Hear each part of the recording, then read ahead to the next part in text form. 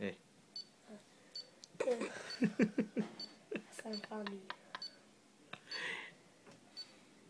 Oh my god. Here, Dad. Dad, here. Look. What? Here, stick your finger. That's it.